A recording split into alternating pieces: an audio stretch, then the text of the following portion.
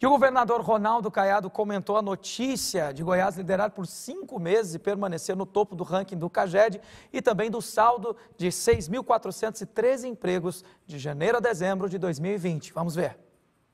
Goiás, ele encerra o ano aí com, com saldo positivo, mas não é em apenas um segmento. Eu acho que o ponto alto que deve ser enaltecido nessa nota feita pela, pelo CAGED é que ele é é, ele é positivo indústria, comércio, serviços, agropecuária. Então, Goiás hoje é também a maior produção industrial do país.